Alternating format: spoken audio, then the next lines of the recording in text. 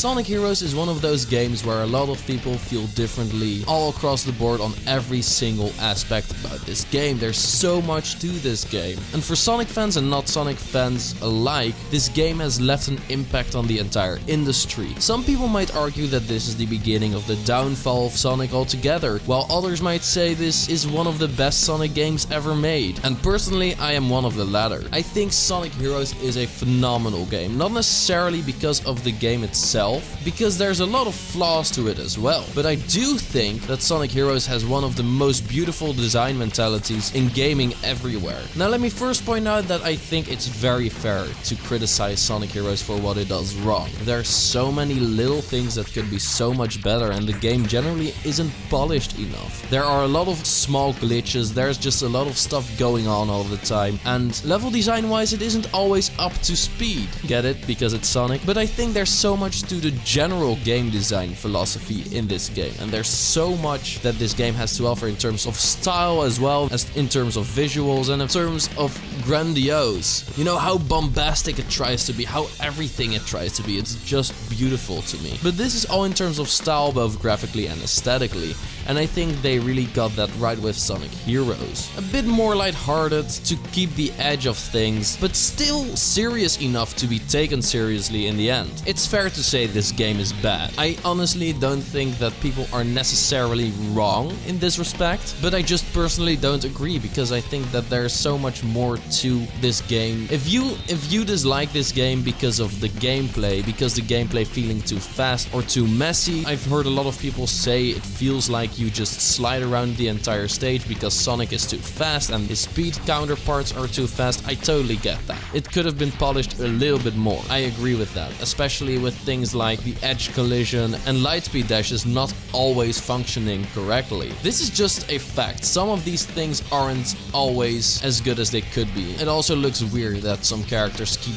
jumping around everywhere when you're simply taking a turn or anything like that, right? But there's a lot of stuff to this game that is beautiful. This is mostly in terms of the actual game design. So everyone knows Sonic Heroes is a game where you have three different characters. A speed character, a power character, and a flying character. Is because I kinda got annoyed by the fact that people started talking about Team Sonic Racing being a Heroes inspired game. Sure, maybe at a very, very, very fundamental level in terms of hey, it's with teams, but other than that, it's nothing like Sonic Heroes. Like Sonic Heroes is a game where switching is essential, but it's still very free and it's still very open. Team Sonic Racing, it doesn't even matter if you have three speed characters or not. You know, it's not that dependent on it and on the way you use it. It's just a simple racing game. And with that, I do mean simple because I, for as far as I've seen, it doesn't look like it's gonna be very deep. And that's my biggest criticism of that game, but I've talked more than enough about that recently. Other than that, it's beautiful because there's so much behind this gameplay philosophy. The biggest thing that I tend to hear is the fact that the other characters slow the speed character down. Now, I don't agree with this. I think this is a rather stupid notion to a certain extent because it's all about the way you utilize these characters. There's no definitive way of getting past obstacles. There's always you know, things that are implied by the game itself, but you can beat like one third of Sonic's story with just Sonic. There's nothing more to it than that. You can simply actually beat a lot of the stages with just one character if you really wanted to. But the beautiful part about this experience always being an exciting experience is that you can switch these characters up with a buttons press and therefore gaining a whole different set of abilities and this you can utilize in a way that it becomes such a skill based game. It's so satisfying if you get the correct inputs right in this game because it's this complicated, because there's so many different ways of playing this game. And this doesn't only apply to the general game design, but also to level design. There are a lot of different sections to games, there are a lot of different ways you can take. Sure, a lot of the game is linear, but there's so many ways to go about certain things in this game. There's so many ways to beat certain enemies, there's so many different pathways, especially in stages like Grand Metropolis, right? Where you can go all different ways depending on the actual character you like using most. It's just a wonderful game design. It does instruct you to do certain things certain ways, but it doesn't hinder the freedom of you picking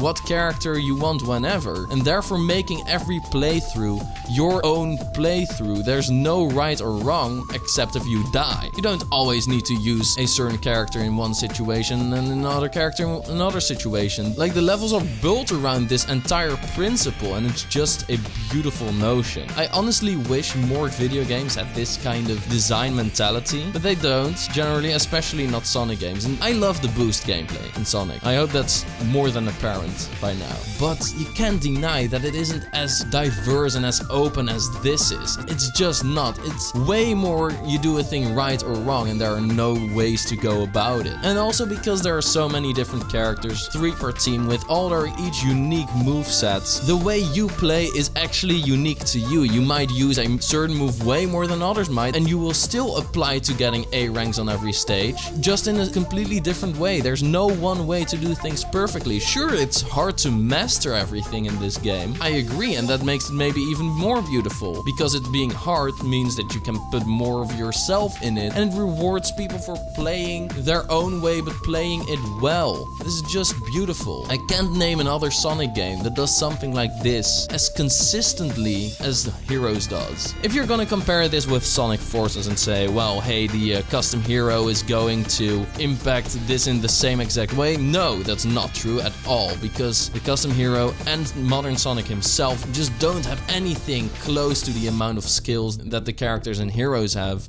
making everything way less diverse. The stages are way more linear, and there's generally a notion from them just being like, okay, there's just one way to do this well and no other way. While in Sonic Heroes, it's so free. There's almost no automated sections, and if they are, they're simply there to be as a to serve the role as a reward, not to trick you into thinking, oh wait, I'm actually doing this. No, Sonic Heroes doesn't bullshit people with this kind of mentality. It's an actual game, and its design philosophy is one of the most beautiful I've seen in Sonic, if not in gaming in general. It's the perfect example of a game that's actually pretty linear, but offers so much for the player to either explore or do things a certain way, to go out of your way to do things your way with certain characters, and maybe even be rewarded with it, or not. You know, it all depends on your skill, on what you like to do, and how you like to insert yourself in this game. That's truly something you can do with this. You can insert your own playstyle in this game. Maybe you're heavy on the speed types, maybe you're heavy on the power types, maybe you're heavy on the flying types, maybe you like playing with Big the Cat more because he has the stomp move. Who knows? But it's beautiful because you can just take yourself, insert yourself in the game, and just play it the way you'd want to play it. It's not constructed in a way do or do not, fail or win. No, there's just so many options to this. Now, this doesn't take away from the fact that this game does have its issues. I'm not saying this is the perfect game, it's not at all. I think there's so many issues with this game, and that's really too bad because it had so much potential. You can hear it in my voice, you can hear it by the things I'm saying. This could have been the best Sonic game ever made, if not one of the best games ever made in general. But you know how Sonic Team is. Let's rush the game, let's extend it in a boring way, let's make sure that not every port is as good as the other, and let's make sure that there's a lot of bugs and glitches. Obviously, if you make a game where you play as a team, meaning you have a huge move set, you will stumble across more bugs. So I think that for as much options you have in this game, that they did pretty well. But I totally get why it might trip people up. And there's no excuse for that. They're just things that aren't completely correct in this game. They're just minor, really minor, but I really understand that especially people that aren't into Sonic feel like, wow, this isn't this isn't as good as it could have been. Then there's the general feel and art style and everything about this game that I honestly personally really love. I think they captured Sonic and his friends so incredibly well in this game. There's so much character to every character, even if it's in a really minimalistic setting, even if they don't necessarily try to explain them with story arcs or anything like that. You can see, you can almost feel the way these characters are. And this only adds to the bizarre style and intense gameplay to this game. Like some of the dialogue is a bit corny if not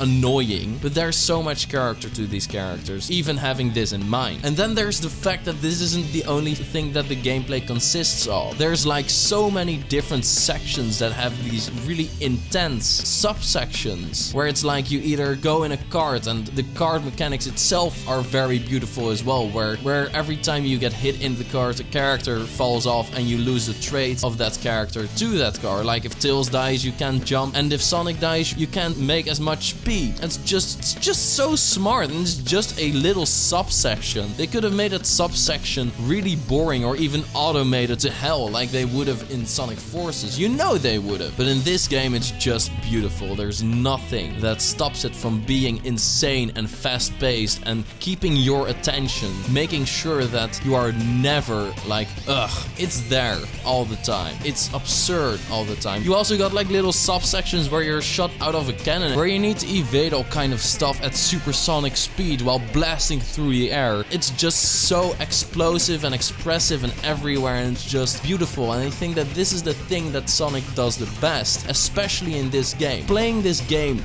it's all high paced, high tension, everything is there, everything is in your face. And because of everything switching up all the time, either you with your characters, trying to make the best of different sections as possible, and just getting your gameplay out there and playing the game to the best of your extent, it just keeps you going. And because of there being so much difference while not being inconsistent in terms of the gameplay, but still always switching it up no matter what's going on, either with cool set pieces or different gameplay styles, different level design, different level design sections, or even different gameplay mechanics altogether, it always keeps it fresh. And that's the core of this game. That's the core of this game's mentality. Keeping it fresh the whole time, keeping it interesting the whole time. That is what Sonic Heroes is at its core. If only they didn't throw this entire mentality away by having you play through every stage four times. With that, what do you think? Do you think Sonic Heroes is at its core a really good game, but they just kind of messed it up? Do you think they didn't mess it up at all and it's actually a beautiful game by every standard possible? Or do you generally dislike or hate this game and think it's just a bad game, which is totally fair if you think that way? Please let me know in the comment section down below. I'd love to hear your thoughts as always. And don't forget to hit that bell